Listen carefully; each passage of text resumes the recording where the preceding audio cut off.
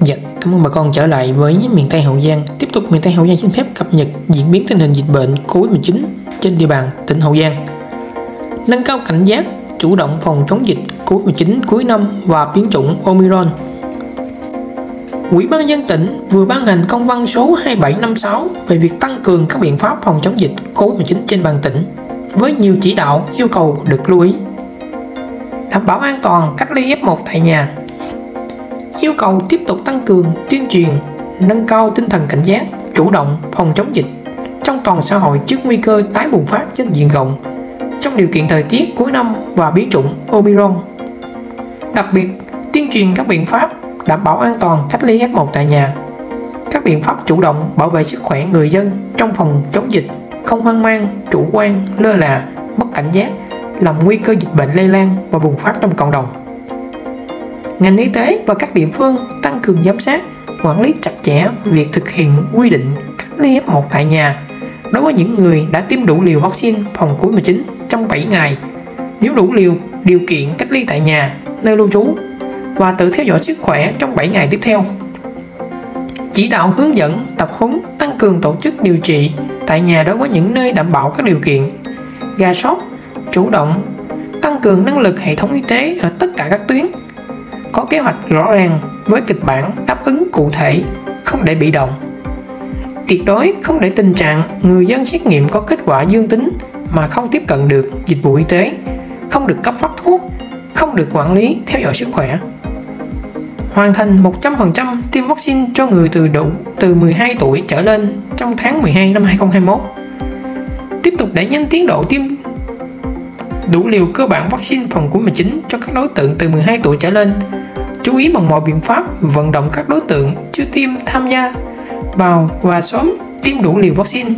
ngay khi được phân bổ vaccine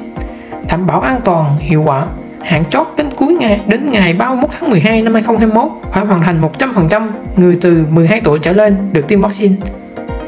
Đồng thời, xây dựng kế hoạch triển khai tiêm mũi bổ sung, mũi nhắc lại với các trường hợp đủ thời gian theo hướng dẫn của Bộ Y tế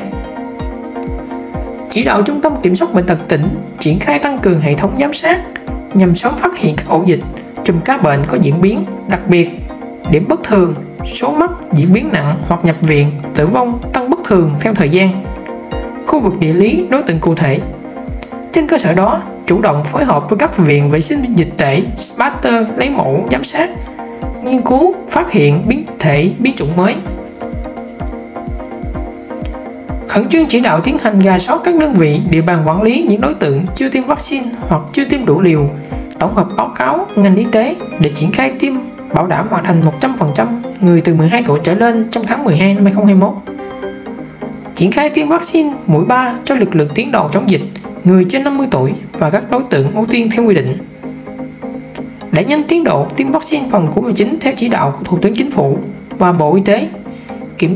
kiểm điểm trách nhiệm, xử lý các trường hợp để xảy ra sai phạm, không đảm bảo tiến độ tiêm chủng theo quy định. Chủ động ra soát, hoàn thành các kịch bản, phương án của cơ quan, đơn vị và địa phương, sẵn sàng đáp ứng với các tình huống dịch COVID-19 trên địa bàn. Trên quan điểm tiếp cận toàn dân từ sớm, từ xa, ngay tại cơ sở, nâng cao năng lực hệ thống y tế nhất là y tế cơ sở bảo đảm thuốc vật tư trang thiết bị y tế theo phương châm bốn tại chỗ và có phương án huy động, điều động, bổ sung nhân lực y tế, đồng thời tiếp tục phát huy vai trò của tổ covid cộng đồng, trạm y tế lưu động, không để xảy ra tình trạng người bệnh không liên hệ được với cơ sở y tế, không được tư vấn cấp phát thuốc điều trị. Hướng dẫn người dân có thể chủ động tự thực hiện xét nghiệm bằng test test nhanh. Thông tin hướng dẫn người dân có thể chủ động tự thực hiện xét nghiệm bằng test nhanh kháng nguyên cho bản thân, gia đình để chủ động phòng chống dịch nhưng cần lưu ý chỉ mua sử dụng các sinh phẩm xét nghiệm đã được Bộ Y tế cấp phép sử dụng. Khi phát hiện kết quả xét nghiệm dương tính với test nhanh kháng nguyên SARS-CoV-2, cần bình tĩnh, đeo khẩu trang, không tiếp xúc với người khác, tự cách ly tại nhà và liên hệ ngay với cơ sở y tế gần nhất để được hướng dẫn, xử trí phù hợp. Tăng cường kiểm tra việc chấp hành các quy định về phòng chống dịch tăng cường kiểm tra việc chấp hành các quy định phòng chống dịch COVID-19 đối với các hoạt động sản xuất, kinh doanh, đặc biệt là hoạt động của nhà hàng, quán ăn chỉ được bán hàng mang về nhưng chưa thực hiện. thường xuyên kiểm tra việc chấp hành quy định 5K của người dân, xử lý nghiêm đối với các tổ chức cá nhân vi phạm các quy định về phòng chống dịch COVID-19 trên địa bàn quản lý. Tăng cường công tác tuyên truyền, phổ biến quán triệt đến đảng viên, cán bộ, công chức và người lao động gương mẫu, nghiêm túc thực hiện đầy đủ các quy định, biện pháp phòng chống dịch COVID-19, luôn đề cao cảnh giác, thực hiện nghiêm thông điệp 5K, hạn chế các hoạt động tập trung đông người, các đám hiếu hỉ, sinh hoạt tập trung không cần thiết. Theo chỉ đạo của tỉnh ủy tại công văn số 420 ngày 17 tháng 12 năm 2021, khẩn trương chuẩn bị đầy đủ các điều kiện liên quan để tổ chức triển khai thực hiện việc cách ly F0 tại nhà theo kế hoạch của Ủy ban nhân tỉnh, thời gian thực hiện từ đầu tháng 1 năm 2022. Chủ động gà sót lại công tác đấu thầu, mua sắm, thuốc, sinh phẩm, vật tư, trang thiết bị y tế. Ủy ban nhân tỉnh yêu cầu chủ động gà sót lại công tác đấu thầu, mua sắm thuốc, sinh phẩm, vật tư, trang thiết bị y tế, tuyệt đối không để xảy ra tình trạng lãng phí, tham nhũng, tiêu cực, lợi ích nhóm, chủ trì phối hợp với các đơn vị liên quan, ra soát lại kế hoạch mua sắm, đảm bảo đủ số lượng, đúng chủng loại, phù hợp với tình hình diễn biến dịch bệnh của tỉnh, thực hiện công tác đấu thầu, mua, sắm thuốc, sinh phẩm, vật tư trang thiết bị y tế, đặc biệt là các mặt hàng phục vụ cho công tác phòng chống dịch đúng quy định, bảo đảm công khai, minh bạch trong đấu thầu, mua sắm. Xem xét bổ sung vào kế hoạch thanh tra năm 2022 nội dung thanh tra về công tác đấu thầu, mua sắm thuốc, sinh phẩm, vật tư, trang thiết bị y tế. Nội dung công văn nêu rõ, thanh tra tỉnh tham mưu cho Chủ tịch Ủy ban nhân tỉnh xem xét bổ sung vào kế hoạch thanh tra năm 2022. Nội dung thanh tra về công tác đấu thầu, mua sắm thuốc, sinh phẩm vật tư, trang thiết bị y tế, đồng thời tăng cường công tác thanh tra, kiểm tra, giám sát định kỳ, đột xuất đối với các đơn vị có liên quan, kịp thời phát hiện, chấn chỉnh, xử lý nghiêm các hành vi vi phạm hoặc chuyển hồ sơ sang cơ quan điều tra để xử lý theo quy định của pháp luật. Tiếp theo, phần tin Covid trên địa bàn tỉnh Hậu Giang cũng như các khu vực lân cận. Thông tin về dịch Covid-19 6 lô vaccine có hạn dùng cũ ghi trên bao bì từ tháng 10 năm 2021 đến tháng 3 năm 2022 đã được Bộ Y tế thông báo cập nhật hạn dùng mới từ tháng 1 đến tháng 6 năm 2022 tăng 3 tháng so với hạn cũ Bộ Y tế giải thích việc tăng hạn áp dụng toàn cầu. Vaccine Nanocovax được yêu cầu an toàn và sinh miễn dịch. Cần bổ sung dữ liệu hiệu quả bảo vệ, đó là kết luận của Hội đồng Đạo đức trong nghiên cứu y sinh học quốc gia sau khi xem xét đánh giá báo cáo cập nhật bổ sung kết quả giữa kỳ thử nghiệm lâm sàng giai đoạn 3 của vaccine Nanocovax. Ngày càng nhiều nước rút thời gian chờ tiêm liều vaccine COVID-19 thứ ba từ 6 tháng xuống ngắn hơn nhằm ngăn chặn sự gia tăng số người nhiễm biến thể Omicron lần đầu xác định tại Nam Phi. Đầu năm 2021, nhiều nước trong đó có Mỹ đã có đã cho phép tiêm liều thứ ba khoảng 6 tháng sau khi tiêm hai liều ban đầu. Đến tháng 12 này, Hàn Quốc, Anh và Thái Lan đã rút thời gian chờ tiêm liều thứ ba xuống còn 3 tháng, trong khi Bỉ rút xuống còn 4 tháng. Tại Mỹ, có một thực tế là các cơ quan y tế công cộng cũng tỏ ra bối rối như chính công chúng trước các câu hỏi về biến thể Omicron. Ví dụ, nó lây nhiễm như thế nào? Độc lực ra sao? Nó lại tránh hệ miễn dịch thế nào? Vẫn chưa được giải thích. Các chuyên gia y tế cho rằng các thông tin về biến thể mới này đang bị rối loạn, khiến người dân hoang mang. Tại Hà Lan, truyền thông nước này đưa tin các chuyên gia y tế đã khuyến nghị chính phủ Hà Lan tái áp dụng đặc lệnh phong tỏa nghiêm ngặt để khống chế làn sóng dịch bệnh hiện nay. Nội dung chi tiết các biện pháp chưa được công bố và còn chờ quyết định của chính phủ nước này. Còn tại Đức, người chưa tiêm chủng hoặc người chưa tiêm chưa có kháng thể SARS-CoV-2 do mắc bệnh trước đó từ những nước có nguy cơ cao khi nhập cảnh vào Đức sẽ phải cách ly và có thể phải tiến hành xét nghiệm COVID ở ngày thứ năm sau khi nhập cảnh theo phần tin Covid trên địa bàn tỉnh Hậu Giang. Quân đội vượt khó, góp sức phòng chống Covid-19. Vượt qua khó khăn vất vả, lực lượng vũ trang thành phố Bị Thanh đã và đang chung tay làm tốt nhiệm vụ phòng chống dịch Covid-19. Cán bộ chiến sĩ ban chỉ huy quân sự thành phố Bị Thanh hỗ trợ hậu cần tại khu điều trị F0 ở trường tiểu học Nguyễn Quang Trỗi. Thiếu tá Nguyễn Thanh Lâm, trợ lý chính trị ban chỉ huy quân sự thành phố Bị Thanh cho biết Tôi tham gia trực chốt kiểm soát ra vào ở ấp 6 xã Vị Tân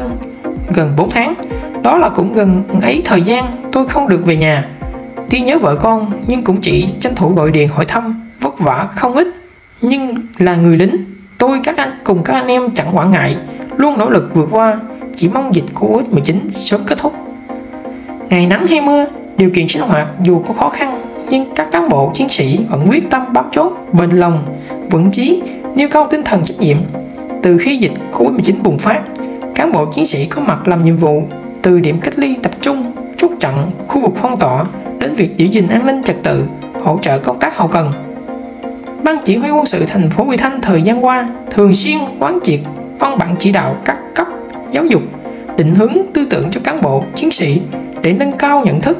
vai trò và nhiệm vụ của lực lượng vũ trang trong thực hiện công tác phòng chống dịch. Nhờ đó, toàn thể cán bộ, các chiến sĩ đơn vị luôn có ý thức trách nhiệm, tự giác nhận và hoàn thành tốt các nhiệm vụ. Dù ở nơi đâu, điều kiện ra sao, các cán bộ chiến sĩ vẫn thể hiện sự nỗ lực, chung tay góp sức từng bước ngăn chặn và đẩy lùi dịch Covid-19. Đại úy quân nhân chuyên nghiệp Hồ Đăng Tùng, nhân viên chính sách, Ban chỉ huy quân sự thành phố Vị Thanh chia sẻ